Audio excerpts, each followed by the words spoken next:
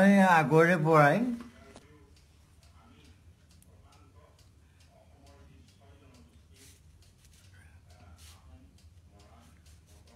নাগৰিকত্ব সংশোধনী বিধায়কৰ বিৰোধিতা কৰিছোঁ কৰি আহিছোঁ ঘোৰ বিৰোধিতা কৰি আহিছোঁ। আৰু মই ভাষাটোৰ কথা কৈছিলোঁ।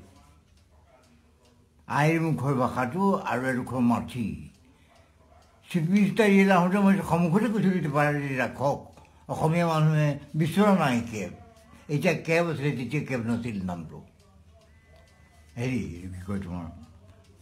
কি আছিলে? বিধায়কখন নামটো পাহৰি গৈছোঁ নহয়। নাগৰিকত্ব সংশোধনী বিধায়ক। অসমীয়া মানে আপুনি দেখিছে নহয় চিফ মিনিষ্টাৰক কৈছোঁ দেই। ইয়াতে কৈছোঁ এইখিনি কৈছোঁ। আপুনি দেখিছে নহয় অসমীয়া মানে গ্ৰহণ নকৰে বুলি কৈছে দৃঢ়ভাৱে কৈছে বহুতবাৰ কৈছে বিভিন্ন ধৰণে কৈছে দল সংগঠনে কৈছে। তেতিয়াই কৈছিলোঁ সেইটো মই এতিয়াও মই বাহাল ৰাখিছোঁ এতিয়া মই যাব নোৱাৰোঁ, নহ'লে মই তোমালোকৰ লগতে এদিন গৈ পেলাই বহি থৈ বহি বহি মোৰ প্ৰতিবাদটো সাব্যস্ত কৰিলোঁ আৰু মই মই ভাবোঁ,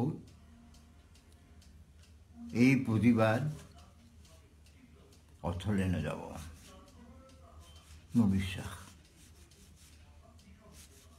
ইয়াৰ লগত অসম অসমীয়া অসমীয়া ভাষা সংস্কৃতি মাতৃ বহু ধৰণৰ কথা যুক্ত হৈ আছে যিবোৰ তোমালোক মোতকৈ তোমালোকে বেছি ভালকৈ জানা।